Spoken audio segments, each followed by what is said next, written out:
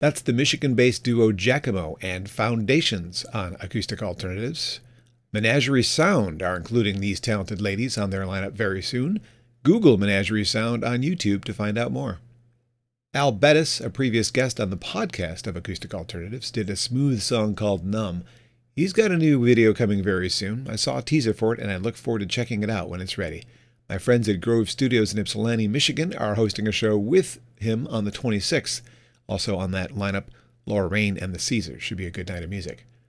I met Beth Stalker years ago before singing in smoky bars changed her beautiful voice. It's still beautiful, but I can hear a difference in the young lady I met 20 years ago and the more recent performances. I still highly recommend seeing her if you get a chance. I really like this version of Bill Withers' Ain't No Sunshine.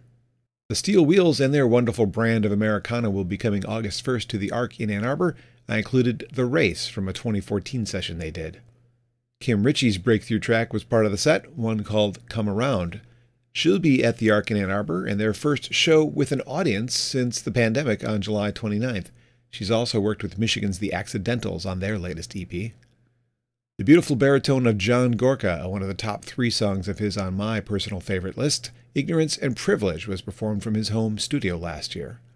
The next set starts with Chris DuPont, an Ypsilanti, Michigan artist I hope you continue to support with your ears and finances. This is Retrieve on Acoustic Alternatives.